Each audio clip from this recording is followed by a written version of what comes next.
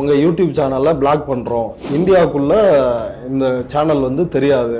அதற்கு என்ன காரணம்? அந்த காரணத்தை வந்து சொல்லல. அப்புறம் எப்படி உங்களுக்கு விஷயம் தெரியும்? சொல்ல மாட்டாங்க. நீ வராத நீ நுழையாத உன் சேனல் இருக்காது. அவ்வளவுதான். இதான் பாசிசம் ஒரு சேர ரெண்டு பக்கமும் ஆட்சிக்குள்ள இருந்து பாஜக காரர்கள் கொடுத்த நெருக்கடி ஆட்சிக்கு வெளியில் இருக்கின்ற இந்த சங்கி ட்ரோல் ஆர்மி கொடுக்கிற நெருக்கடி இந்த ரெண்டு நெருக்கடியுமே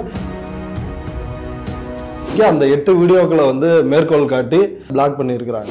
அந்த எட்டு வீடியோவும் என்ன பின்னணி கொண்டவை வள்ளலார் சமூக நீதி இடஒதுக்கீடு மனுஸ்மிருதிக்கு எதிரான கருத்துக்கள் சனாதனத்திற்கு எதிரான கருத்துக்கள் இந்துத்துவ பாசிசத்திற்கு எதிரான கருத்துக்கள் எல்லா மக்களுடைய ஒடுக்கப்பட்ட பிற்படுத்தப்பட்ட மிகவும் பிற்படுத்தப்பட்ட இந்த உழைக்கும் மக்களுடைய உரிமை சார்ந்த வீடியோக்கள்.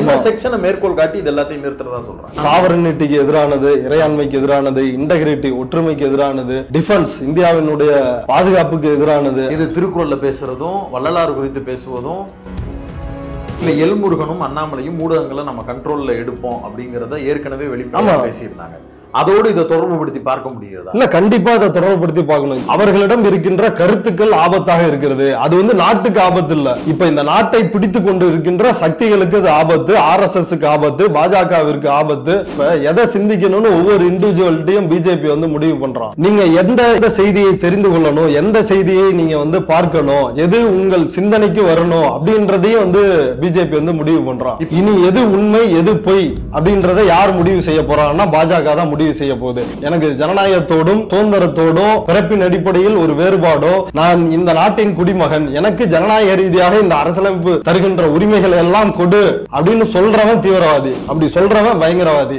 இது ஒண்ணும் அந்த காலம் கிடையாது. சம்பவனை வந்து தலையை வெட்டுவாங்க. வந்து ஏகலைவனை வந்து கட்டாய விரலை வந்து வெட்டுவாங்க. யாராலையும் கேட்க முடியாது. இது தந்தை பெரியாரினுடைய காலம் பாபா சாஹேப் அம்பேத்கரினுடைய காலம் மார்க்ஸை படித்து ஒரு ஜனநாயகத்தை உள்வாங்கியவர்களுடைய காலம். இந்த காலத்துல வந்து எதுவும் என்னை வந்து முடக்க போகிறதில்ல என்னை காலி பண்ணாதான் முடங்கும்.